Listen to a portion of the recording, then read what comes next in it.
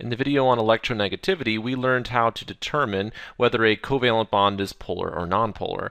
In this video, we're going to see how we can figure out whether molecules are polar or nonpolar, and also how to apply uh, that polarity to what we call intermolecular forces. Intermolecular forces are the forces that are between molecules. And so that's different from an intramolecular force, which is the force within a molecule. So a force within a molecule would be something like the covalent bond. An intermolecular force would be the force that are between molecules. And so let's look at the first intermolecular force. It's called a dipole-dipole interaction. And let's analyze why it has that name. If I look at one of these molecules of acetone here, and I focus in on the carbon that's double bonded to the oxygen, I know that oxygen is more electronegative than carbon. And so we have uh, we have four electrons, right, in this double bond between the carbon and the oxygen. So here I'll try to highlight them right here. And since oxygen is more electronegative, oxygen is going to pull those electrons closer to it, therefore giving oxygen a partial negative charge. Those electrons in yellow are moving away away from this carbon. So the carbon's losing a little bit of electron density, and this carbon is becoming partially positive like that. And so for this uh, for this molecule, uh, we're going to get a separation of charge, a positive and a negative charge. So we have a polarized double bond situation here. We also have a polarized molecule, and so there's there's two different poles, a negative and a positive pole here. And so we say that this is a polar molecule. So acetone is a relatively polar molecule. The same thing happens to this acetone molecule down here. So we get a partial negative and we get a partial positive. So this is a polar molecule as, as well. It has two poles. So we, we call this uh, a dipole. Right? So each molecule has a dipole moment. And because each molecule is polar and has a separation of positive and negative charge, um, in organic chemistry we know that opposite charges attract, right? So this negatively charged oxygen is going to be attracted to this positively charged carbon. And so there's going to be an electrostatic attraction uh, between those two molecules. And that's what's going to hold these two molecules uh, together. And you would therefore need energy if you were to try to pull them apart. And so the boiling point of acetone, the boiling point of acetone turns out to be approximately 56 degrees Celsius.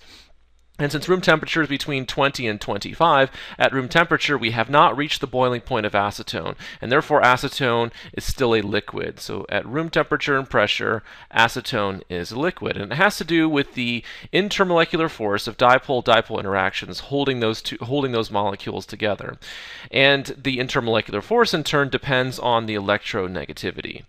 Let's look at another intermolecular force, and this one's called hydrogen bonding. So here we have two water molecules, and uh, once again, if I think about if I think about these electrons here, which are between the oxygen and the hydrogen, I know oxygen's more electronegative than hydrogen. So oxygen's going to pull those electrons closer to it, giving the oxygen a partial negative charge like that. The hydrogen is losing a little bit of electron density, therefore becoming partially positive. The same situation exists in the water molecule down here. So we have a partial negative and we have a partial positive.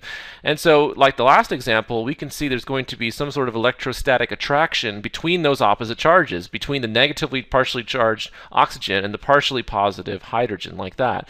And so this is a polar molecule. Of course, water is a polar molecule. And so you would think that this would be an example of dipole-dipole interaction, and it is, except in this case, it's an even stronger version of dipole-dipole interaction that we call hydrogen bonding. So at one time, at one time, it was thought that this uh, it was possible for hydrogen to form an extra bond, um, and uh, and that's and that's where the, the, term originally comes from. But of course, it's not an actual intramolecular force. We're talking about an intermolecular force, but it is the strongest intermolecular force. The way to recognize when hydrogen bonding is present, uh, as opposed to just dipole-dipole, is to is to see what the hydrogen is bonded to.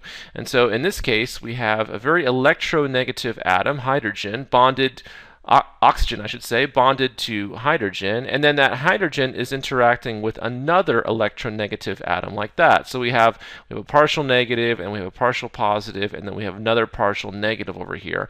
And this is the situation that you need to have when you have hydrogen bonding. Here's your hydrogen, right, showing intermolecular force here.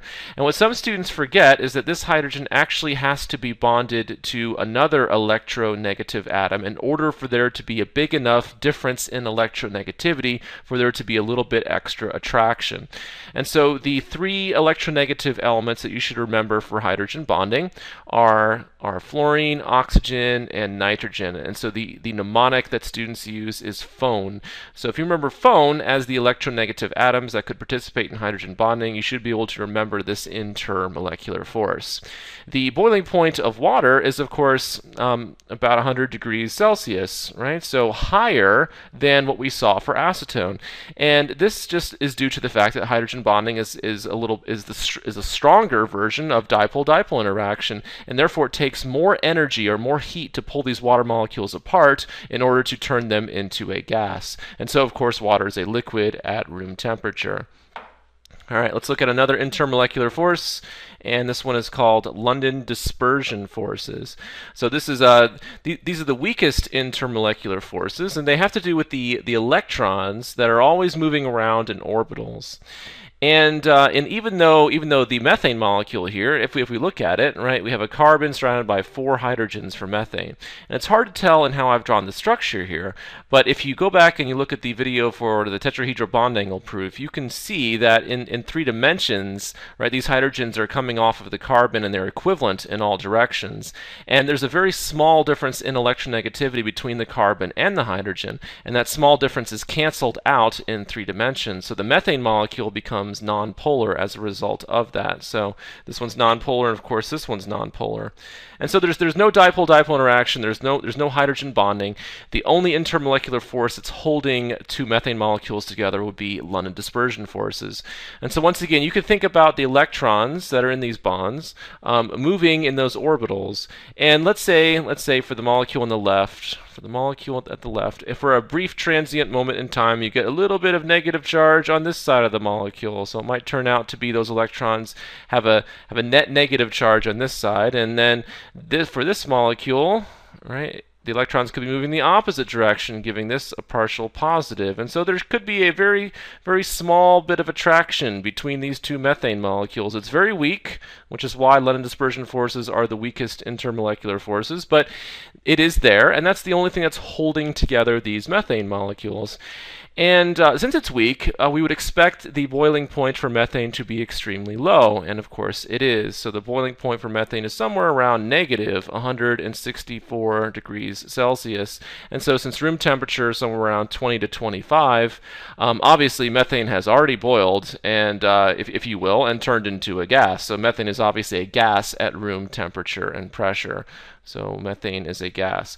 Now, if you increase the number of carbons, you're going to increase the the number of attractive forces that are possible, and uh, and if you do that, you can actually increase the boiling point of, of other hydrocarbons uh, dramatically. And so even though London dispersion forces are the weakest, um, if you have larger molecules and you sum up all of those extra forces, it, it, can actually turn out to be rather significant when you're working with larger molecules.